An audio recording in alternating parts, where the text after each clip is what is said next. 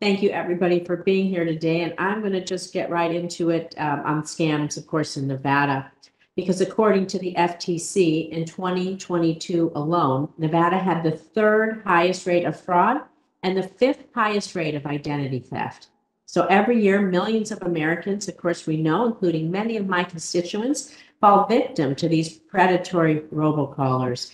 They scammers, they create elaborate schemes through robocalls. They say they're calling from government agencies or other entities, attempting really just to convince people uh, to provide their personal identifiable information or that they're legitimate. And so, for example, Nathan uh, is one of my constituents in Las Vegas. He's a veteran of the Air Force, of the U.S. Air Force. He wrote to my office sharing about a spam call he received from the Veterans Benefit Center. They asked him to refinance his mortgage. He said at one point he was receiving 10 to 15 calls a day from this Veterans Benefit Center. While thankfully Nathan recognized the scam, many others don't. And veterans like him who serve our country should not be targeted with these kinds of calls. It's unacceptable. We have to do more to protect uh, all of our constituents and combat these criminal schemes. So, Ms. Saunders, what advice would you give to Nevadans and, of course, to everyone, uh, particularly in more vulnerable communities, perhaps like seniors and veterans who are targeted by scammers and are impacted at, uh, I would say, disproportionate rates? We, have, thank you for the question. We have one clear piece of advice to give all American subscribers until this problem has been solved. If you receive a call from anybody, unless you are absolutely positive you know that you know the person that has called you, do not give access to your bank account or any other money to that caller. Um, if you receive a call from somebody purporting to be from the Veterans Administration and you want to make sure that your benefits are protected, then hang up, look up the number for the Veterans Administration who, or whoever it is that supposedly called you and call them directly. That, but don't give money, and we don't do that, even when we receive a solicitation from a charity that we believe in. We never, ever give over the phone payment information. Yeah, that's uh, great advice, and we're going to have to keep putting it out there over and over again so people uh, continue to hear this message. Uh, but Mr.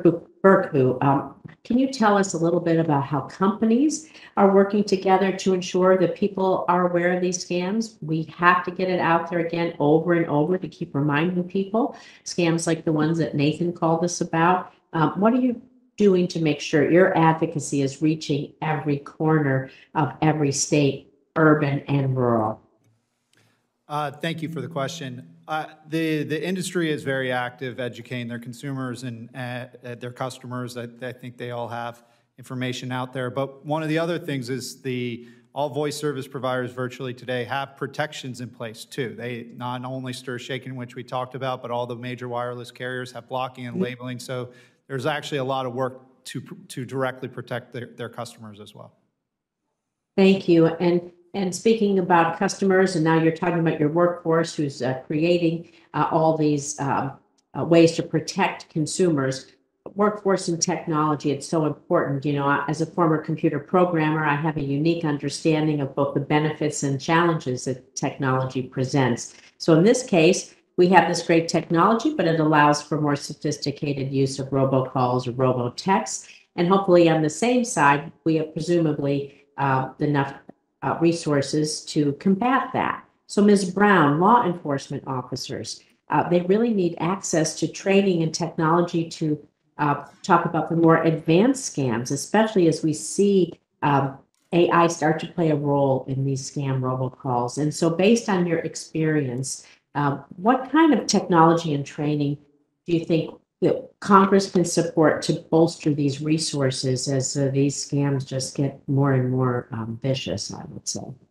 Thank you for the question, Senator.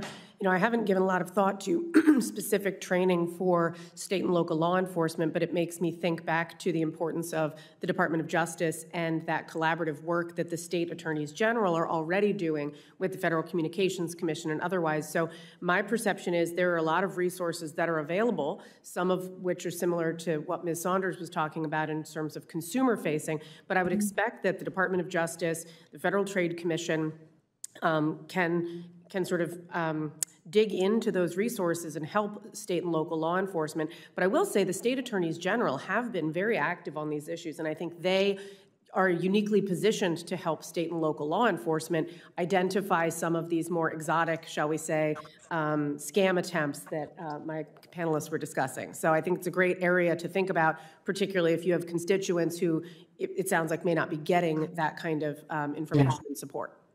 No, especially as we deal with deep fakes and, and other things. And of course, uh, we're just going to keep working on building out our STEM workforce and keep working to protect the consumers. Mr. Chairman, uh, thank you for this hearing. I yield back.